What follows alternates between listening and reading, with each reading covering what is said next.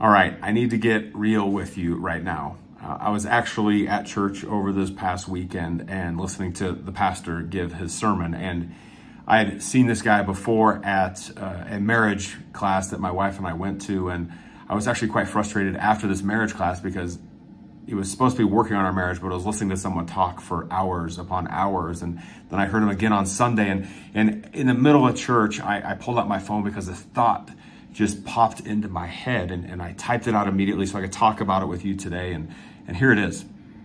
I think if we want to actually make things happen for us personally, for our businesses, for our loved ones, like in all these different areas of life, it's time to start taking action.